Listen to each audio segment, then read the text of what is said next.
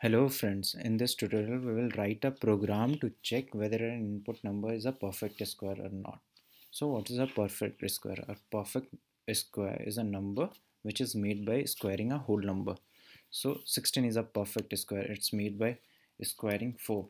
So if you 25 is a perfect square, it's made by squaring 5. But 17 is not a perfect square.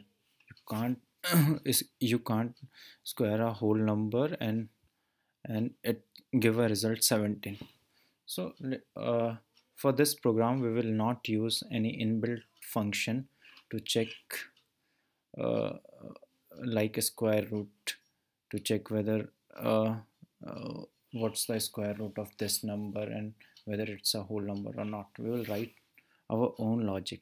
So uh, think for a moment. How do you write a code to check whether an input number is a perfect square or not so so let's start writing simple program. Uh, let's initialize two variable uh, declare two variable num and perfect square. Initialize perfect square with 0 take a input number input number and we will store this value in num. Then start a loop from 1 to less than or equal to number. So suppose our input number is input number is 16 so our program uh, so the initial value of i equal to 1 and i is less than equal to 16 this condition is true. Then we will check whether 1 into 1 equal to equal to 16 no. Whether 1 into 1 is greater than 16 no. So our loop run now the value of i is 2 2 is less than equal to uh, 16 yes this condition is true.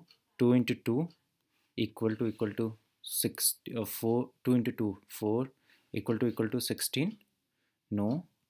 2 into 2 4 is greater than 16 no.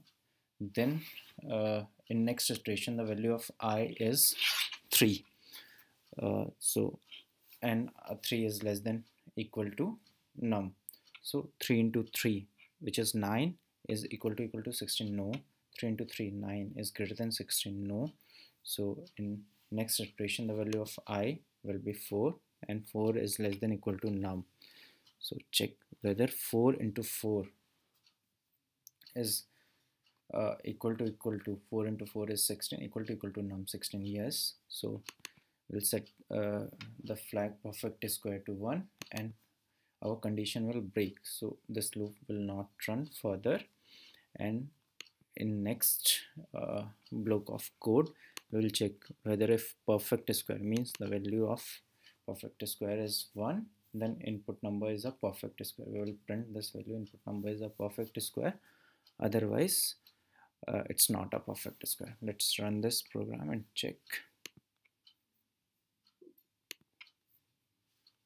let's input a number 16 yes 16 is a perfect square. Let's again run for some other. This time let's enter a value 19 input number is not a perfect square. I hope you have understand the logic of this program. For more, more such uh, programming videos you can subscribe our channel and uh, you can visit our website www.cprogrammingcode.com uh, thanks for watching this video. You can use another approach to solve this problem. Thank you for watching this video